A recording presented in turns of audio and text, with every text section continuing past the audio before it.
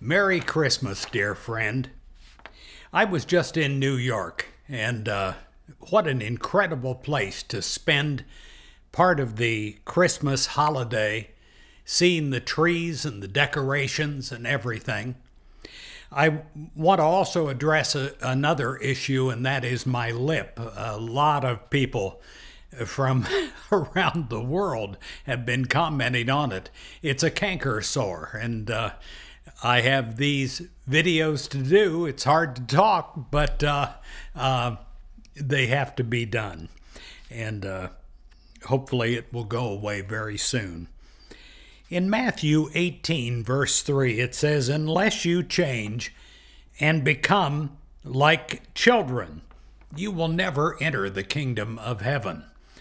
There's a specialness of a wonder of a child that takes over at Christmas time, and it can come through you no matter what your age.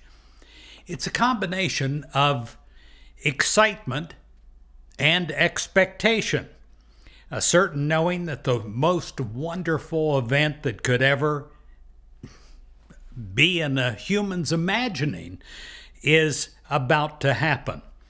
Not even a shadow of a doubt gets in the way of a dream and its fulfillment.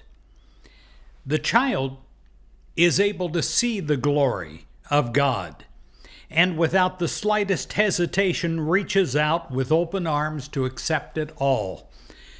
Somehow, even without being told by another person, the child knows to look past circumstances and conditions to the unconditional love and acceptance of God.